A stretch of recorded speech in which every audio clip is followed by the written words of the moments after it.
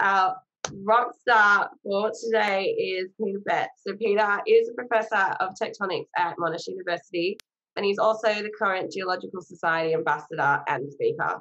So as part of this role, he's prepared a very thought-provoking talk about rethinking the earth sciences narrative. So I'm really, really excited to hear from you. Thank you so much for coming on today. Thanks everyone for showing up and and uh, and it was it's great. I saw some of the names there, and there's some definitely some blasts from the past uh, ex Monash people in in the audience. So hi to everyone. Um, today, I'm I well, so I'll start off by saying um, this is a presentation that I've kind of been doing um, a national tour with, um, and and that tour has really involved me walking between my kitchen and my bedroom for the last 18, 18 months. And so I've given it live once in in, in at a University of New South Wales, and this is the this is version nine. I change it a little bit every time as I um, think about it, but um, it's actually uh, it's not a you know your typical geoscience talk where we talk about my favorite rocks or my favorite model or something like that. It's actually about um, something that I've been thinking a lot about in the last well, in the last two years, and it's become um, sharp in my mind, in particular since COVID, and I'll explain why. So, I really am going to talk about the way that we are portraying ourselves to the wider world. Um, some people get their noses are really are really upset with me when I give this talk because they think I'm actually anti-mining, and that's actually not the case at all. I'm actually very pro-mining. Um, it, this is really about um, how we are seen and perceived by by um, younger people and, and some of the traps that we fall into either as an individual or as a group of people. So that's kind of the gist of the talk. Um, I'm going to start with narratives because um, we all have a have a, um, a, our own narrative, and and that narrative really dictates the way we see ourselves and our role in in the world, and and and they're very powerful because they help us explain that complexity in our lives. And the narrative is our personal narratives, but also um, institutional narratives or, or discipline narratives are very important because they give us our sense of place and purpose. And so when we ask someone to change their narrative, you're actually asking them to do something um, quite um, disruptive in their life. Um, and that's because we're asking them to change their cognition and their emotional patterns. And these things are typically resistant to change. So um, these are not my words. I summarise them there. It's the, um, you can go see them in, in an article in um, in the uh, conversation by Peter Allerton. But actually, when I read that article, I was like, yes, this is this is uh, this is what I'm asking people to do. I'd already started the talk, and what I'm asking is is actually difficult. And of course, our, our experience dictates our narrative. And I'm actually going to talk a little bit about um, my my experience um, in, in, in in kind of um, in, in, some sort of terminology. I'm not going to tell you my life story. That's that's really boring. But um, uh, but I will uh, talk about that. So experience dictates our narrative. So when everyone in this audience thinks about their own narrative, it is largely driven by what they've experienced in their life. And then if I ask the question, why did you become an earth scientist, which is which is a, a critical one, everyone will answer differently. Um, the general trend is um, that they fell into it by accident. But the other thing that I've noticed when I give this talk is after the talk, everyone wants everyone wants to tell me their narrative. So narratives are something that people are passionate about, and so um, and I'm more than happy to listen to your narrative. But um, uh, what I'm asking you to do is have a think about how how you communicate that. I, this is my crack at, or my my attempt at understanding or, or, or, making up a narrative for our broader discipline. I call it system sciences or, or geosciences. And, and it's one that's tried to capture what I think um, capture our importance. So, and then I'm going to use it, use this to reflect on how I think the rest of the world sees us. So, you know, I think um, we are a, actually a profound discipline um, in, in the science in the science spectrum and, and really important. Um, we deal with basically uh, fundamentally um, our, our, humanity, so our origins, the world that we live in, the resources that we consume, the hazards that we face, and the environments. And we are actually the stewards of all these things. So geoscientists scientists are responsible for understanding these things and providing advice that allows society to thrive in, in these things. And all the challenges that I, I see as big science challenges are actually challenges that earth scientists can contribute towards. Okay, so we're problem solvers that will create a sustainable future and, and enable that transformation that's required from um, um, an energy regime that's largely reliant on fossil fuels and, and converting that over to um, a, a, a, renewable or a, or a, or a carbon free um, energy system. And that's a massive challenge. Everyone's talking about it at the moment. Um, and I don't want to trivialize that, but actually, we're, we are um, a very important cog in that wheel. So let's talk about me for the one slide. I promise I will not talk about myself because it's really boring. It's been slightly larger days and with a guy called Brendan Crawford. He may or may not be in the room. And this is uh, in, in the Yukon Territory in 2007. And by the time I was 37 back then, I kind of knew why I loved earth sciences. It took me a while to not get there because I loved it from the beginning. But you know, I realised what the elements are that really drove me to get up out of bed every morning and become a geologist.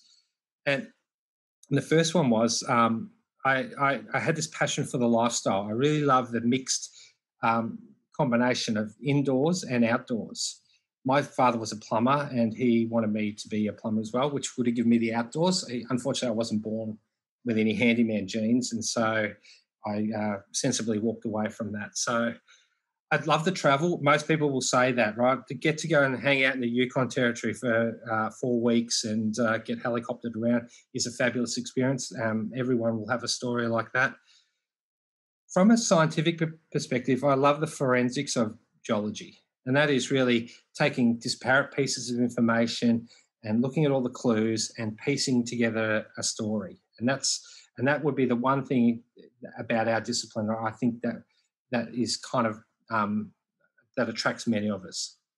And of course, there was a career and a diversity. So I spent all my life in, in the academic system, and I've flitted off in the past and done um, consulting on, on, the side. So I've, I really like that. And of course, we all generally get paid reasonably well, and and usually it's for much to my wife's um, despair when I describe my job as my hobby, and she thinks that's madness. But but everyone else in the room kind of know what I'm talking about. So that's my that's when I realised what I liked about geology. Most of the times now in my role at the university, I'm, the, I'm i have a title. It's a fancy one, so it's called the Associate Dean of Graduate Research. Right, it, it means nothing to anyone except for the dean himself. And and basically that means is I look after the PhD program. And and what that really means is you're interacting with a, the complexities that involve academics, PhD students, policies, and procedures. And when they go, all go pear shaped, my job is to kind of sort it out. Anyway, so they're complex problems that I deal with every day. I often have to make um, sensible decisions without sparse data, with sparse data, sorry. I have to synthesize data that's often incomplete as well. I'm always dealing with ambiguity and I'm always dealing with people. And I would argue that those skills are the ones that I developed as a geologist that make me pretty good at my job as an associate dean of graduate research. So these are transferable skills and no one and no one really talks about that. So I, I believe my training as a geologist has set me up for something that's quite different to geology, but has given me a skill set. And then, of course, my perception of man is I noticed Helen in the in the in the in the uh, in the in the audience, and there's her and I in uh, Patagonia. Um, some of my third year students, um, Helen McFarlane in the bottom corner, um, and Brenton and and Mary in in the Yukon with me. And I kind of got this uh, vision of my life, which looks like that, which is actually not real, because um, I spend you know four weeks a year in the field, and the rest of the time I sit in an office. But that's kind of my perception. And perception is everything.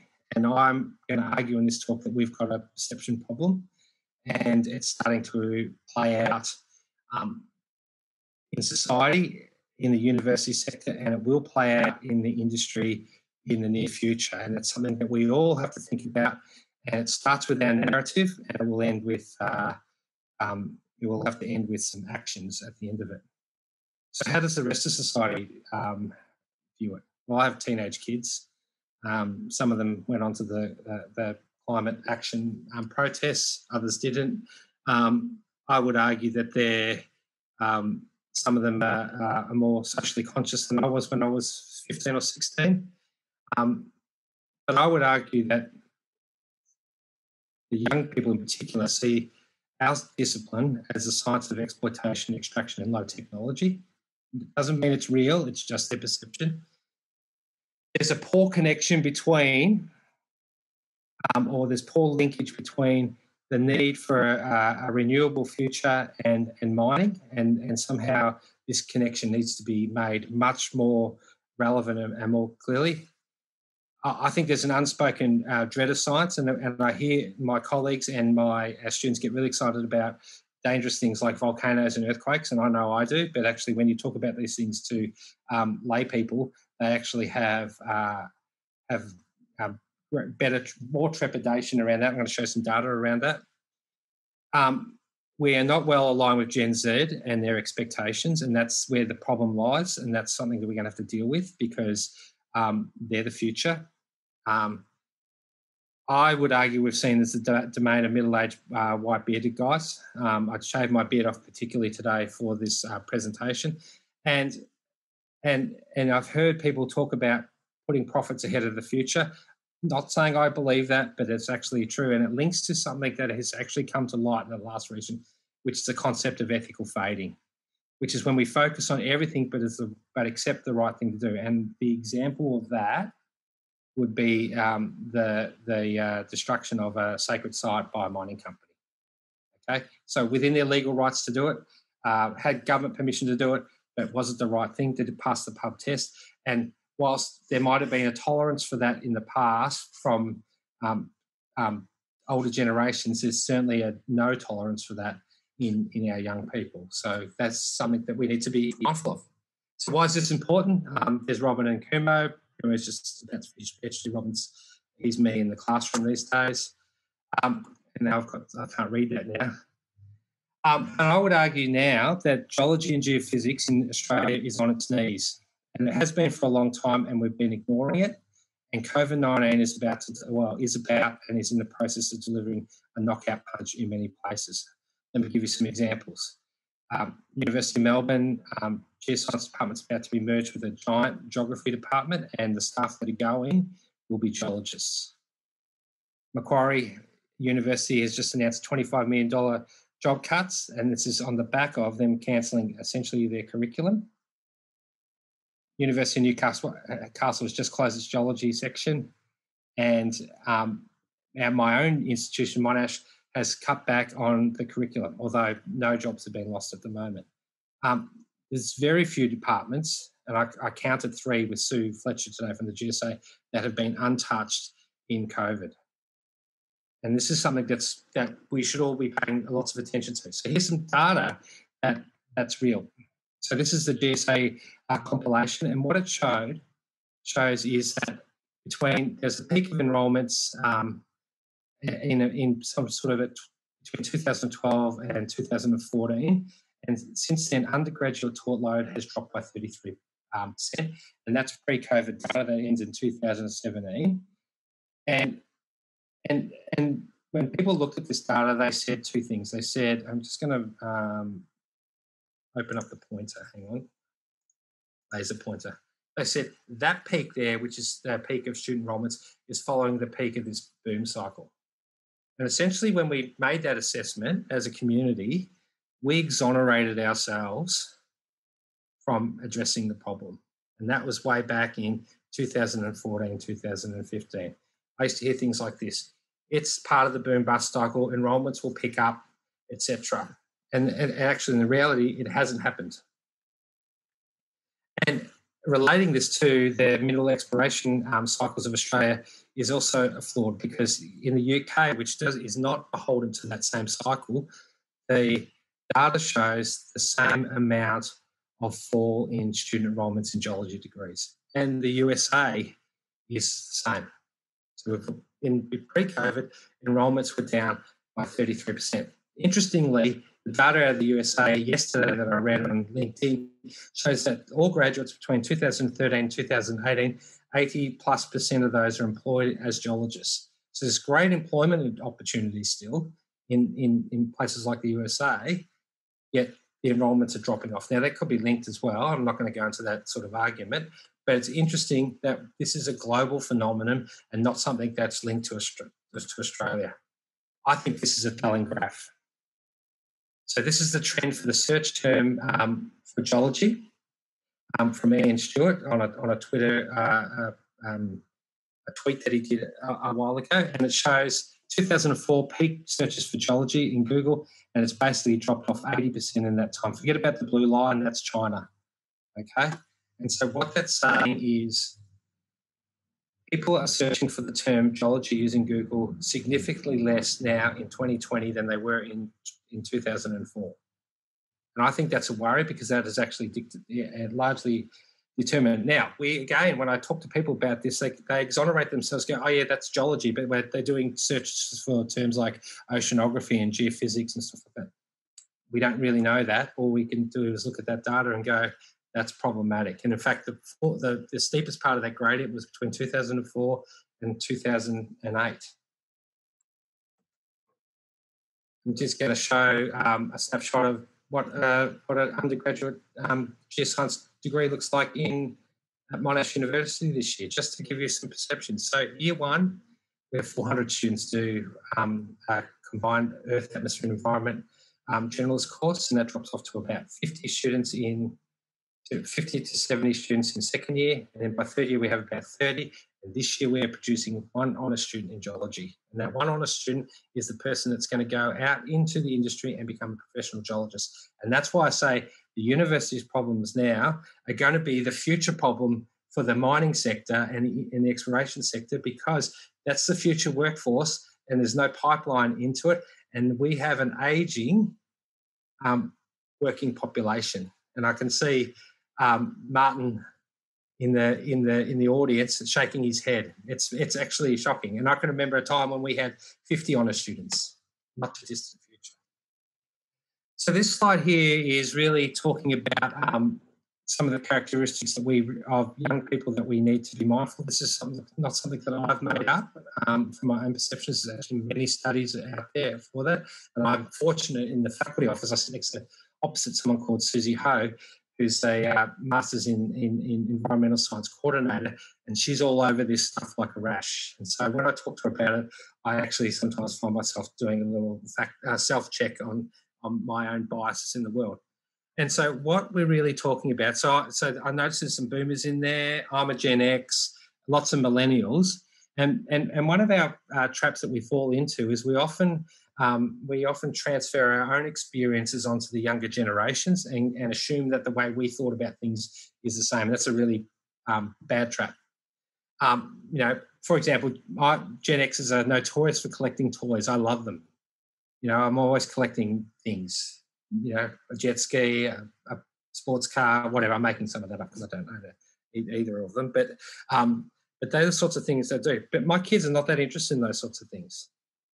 Um, so here's some characteristics around Generation Z, which are really the people that were born between 1995 and 2015. So some of them may still babies, um, and, and but the very first generations of the Gen Z are now moving into the university sector.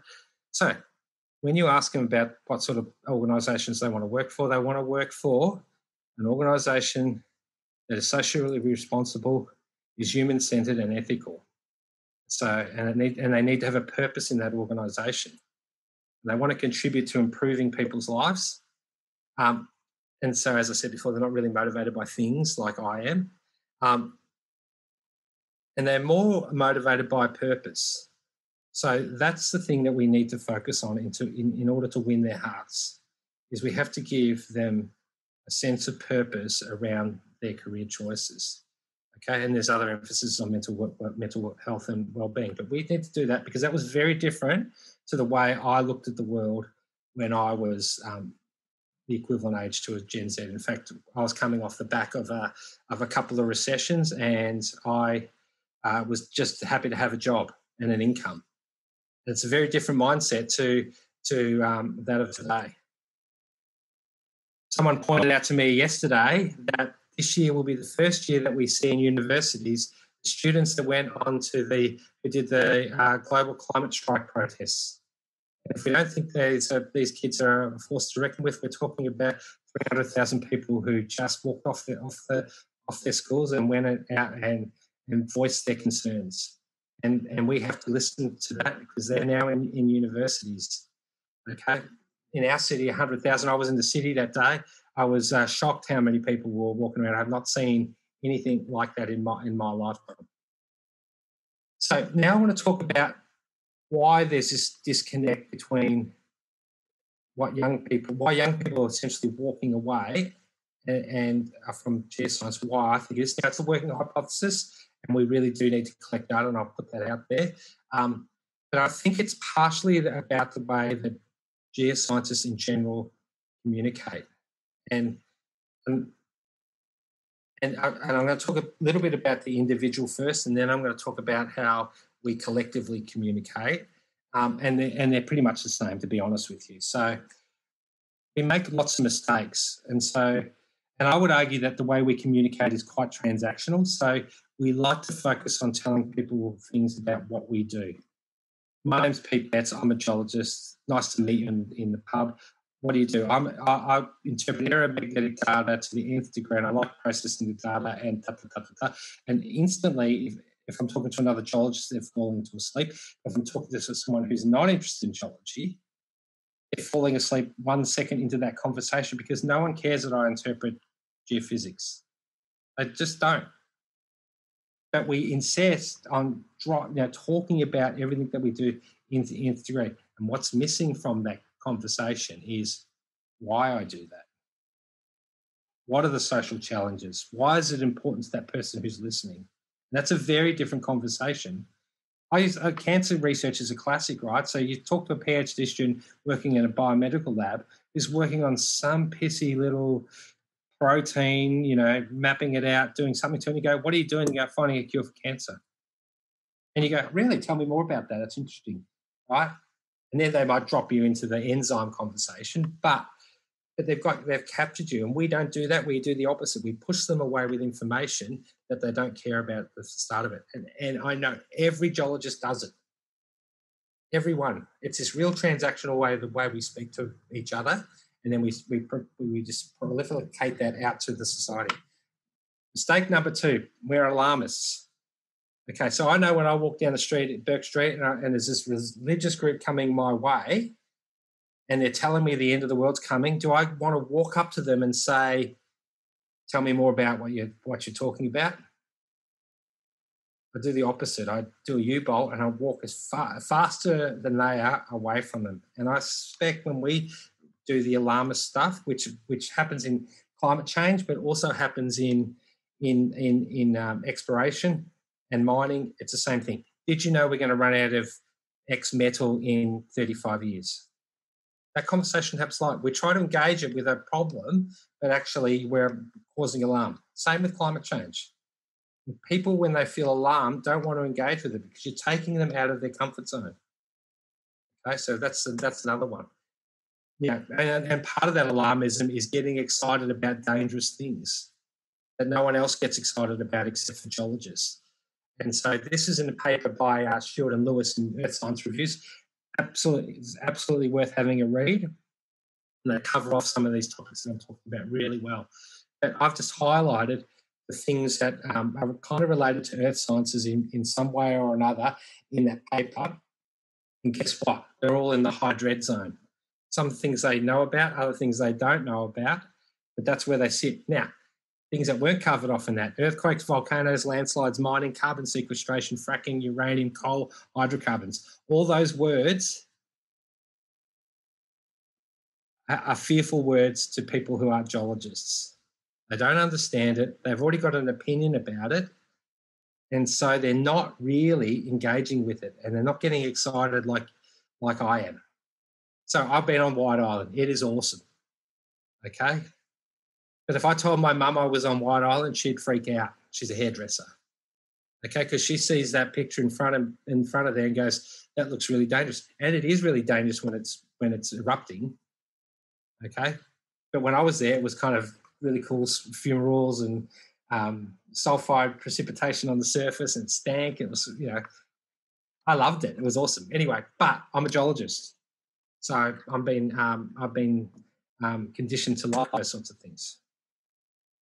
So how do we re-image geology as an individual? So when you go to the pub and someone asks you what you do, and you and you have the urge to tell them that you like certain types of minerals, don't do it.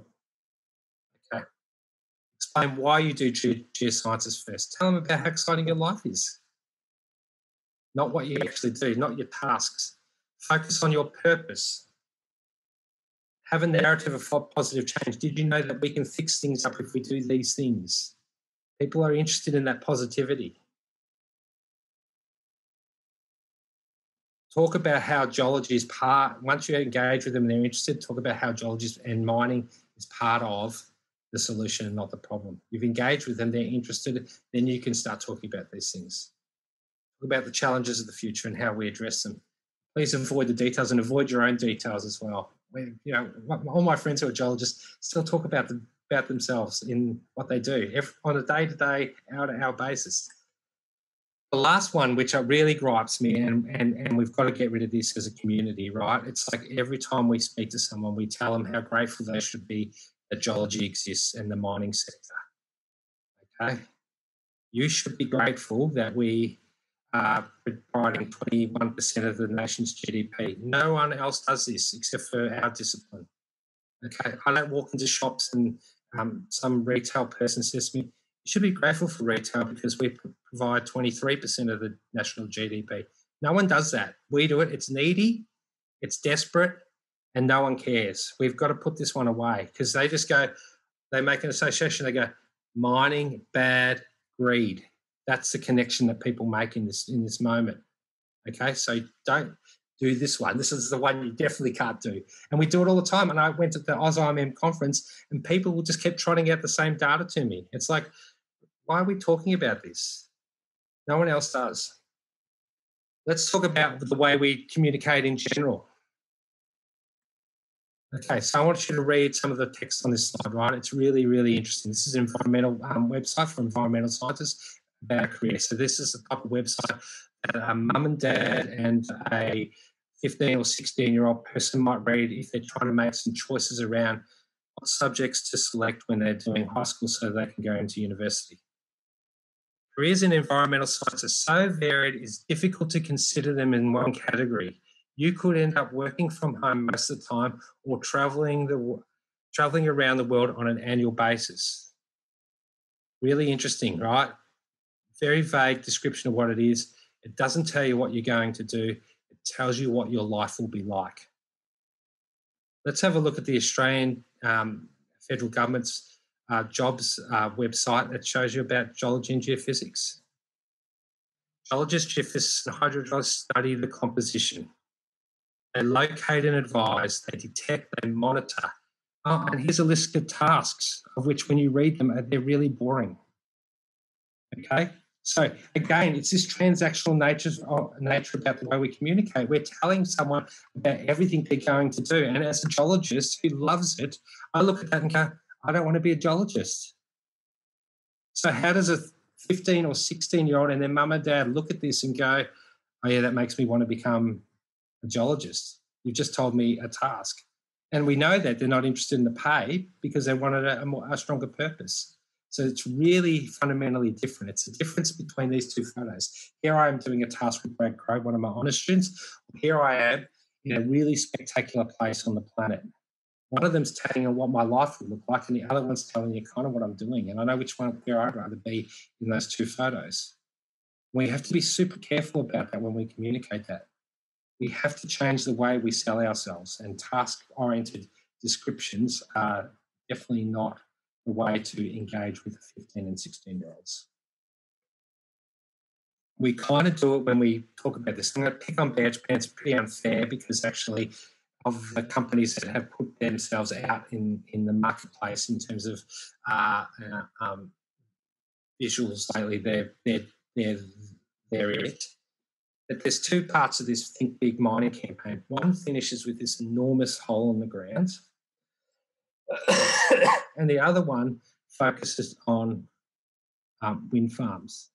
And I don't know whether they got feedback from the first round to the second round, but you know, the first one says, you know, what we do is, you know, the message is what we do. We do mining, right? And it's not really, it was could have been the world's biggest free hit for geology, and it ended up probably being the opposite effect.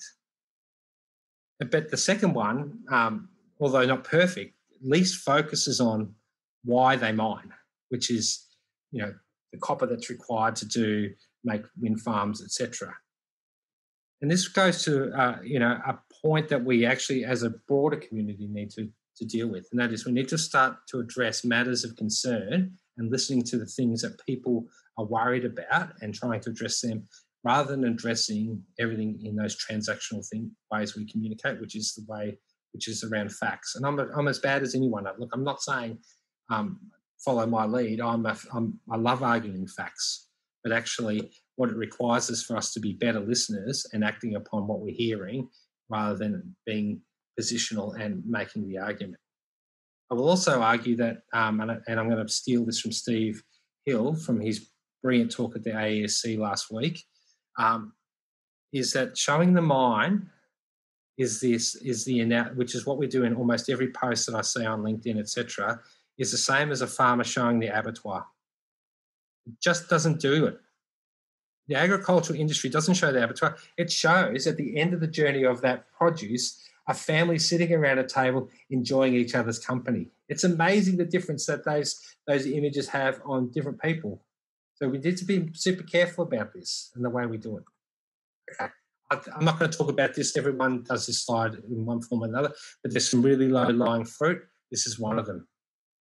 Okay. If we want the future that is being portrayed by most young people, it's going to require more mining than there has ever been before. And we absolutely need to be able to communicate that super clearly. Okay, so that's the first one. And the other one, which I think is also a no-brainer, is that there's uh, 17 United Nations um, global goals of um, sustainable development um, that are supposed to be achieved by 2030. Um, and the ones that you can see are the ones that are directly linked to mining. Okay, so you ask China how they've taken uh, 80% of their population from poverty to um, to 60% being in the middle class it's through building infrastructure. Okay, investment in, in infrastructure and energy actually makes poor people less poor. Okay, the other ones are less uh, are more more um, are more obvious in the, in that in that, and of course the climate action one links to the one the pres, uh, the, the previous slide. But there are ways we can communicate this in in in, in the context of thing of uh, of topics that people care about we should do this. Okay, I'm nearly done, guys. So um, I just want to talk about this because this is um, something that I have been thinking quite deeply about when we were um, when we when I was at the conference guys I'm in last year um, about mining and education, and um, and what what I learned was that there was a significant HR challenges um, faced by mining companies. That was that was the kind of the first starting point of that conference. Um, and, and the people who were speaking weren't geologists, they were HR directors of big mining organisations, and they were saying things like, We're really worried about the ageing workforce. Um, and so we think graduate numbers are going to be problematic. So they've already recognised this. Um, and we're quite uncertain about the future of what our workforce would look like and the skills that they would need. But they did provide some hints around data science and and being um, capable digitally and all those sorts of things. So, so I'm going to park that for a while, and I'm going to talk. And, and this talk has really been around the narrative of young people, and so our narrative and how it's not meeting the expectations of young people and how it's caused a problem.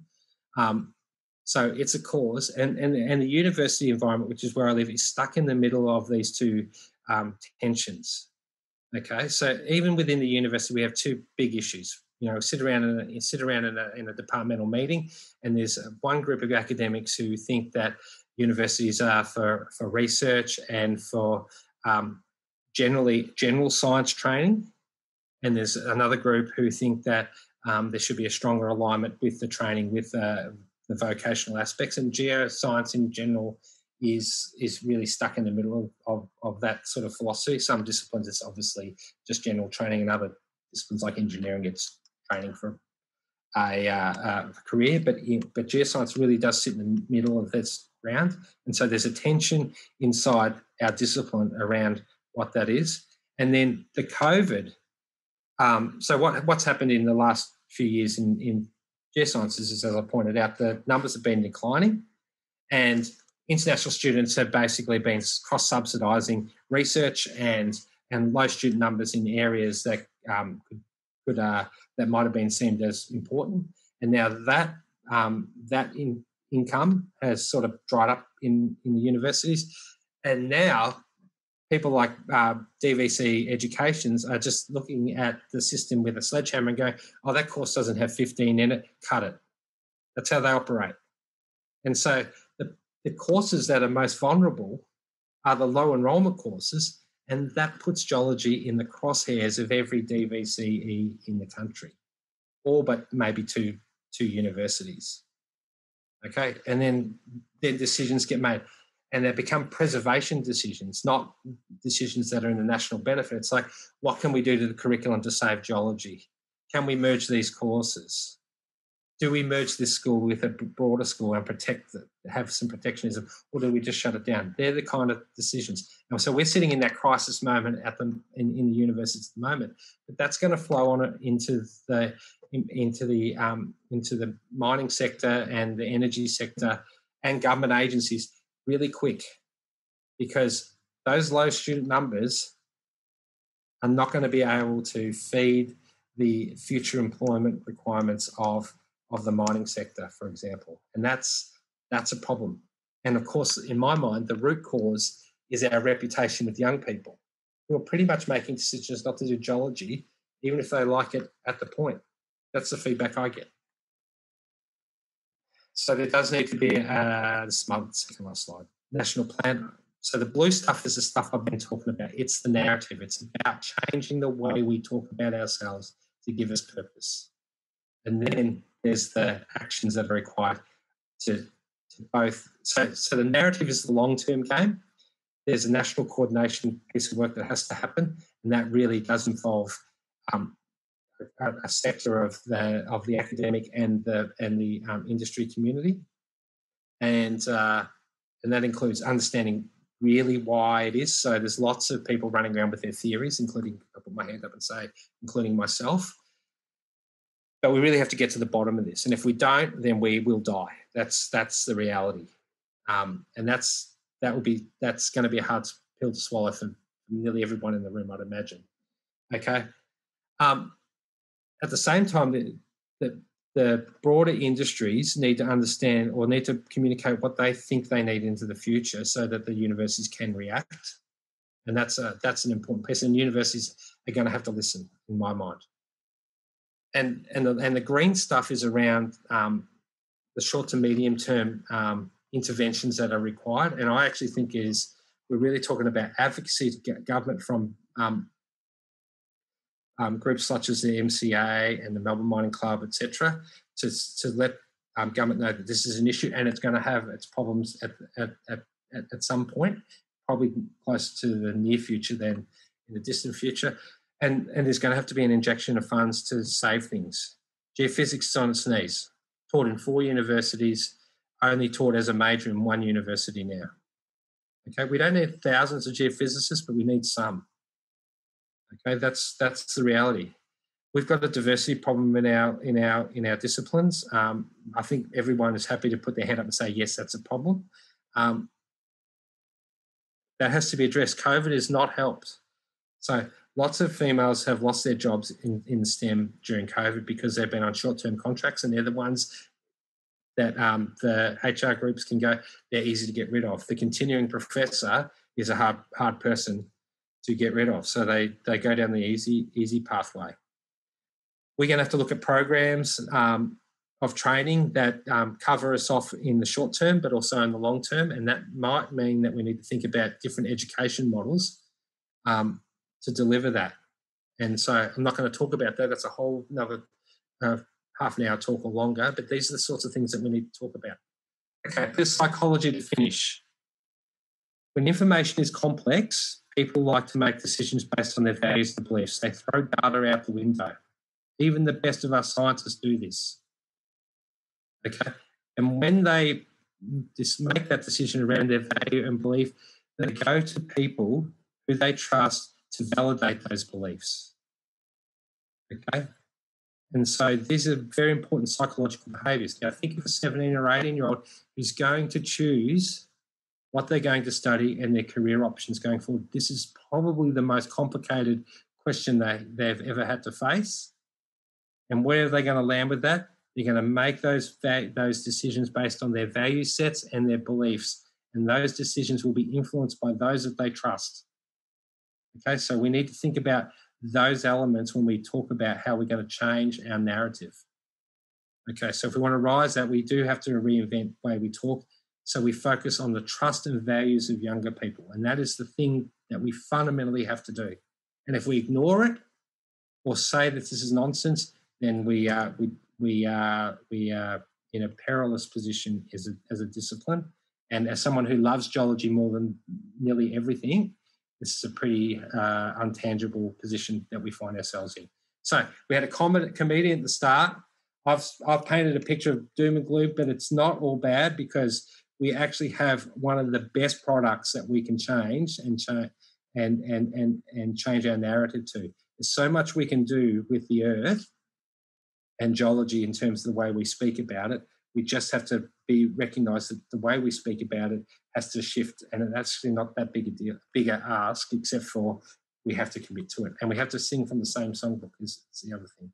So I'm going to stop there, and thanks for um, listening. I do want to acknowledge the GSA. They uh, they've had me running around as the ambassador. When I gave this first talk the first time, um, the executive almost freaked out on on them. They were like, "You can't talk about this ever again." I went, "No, no, no. You don't understand. If we don't get this right, and I'm not saying I'm right, we don't have this conversation. You don't have any membership in 20 years' time."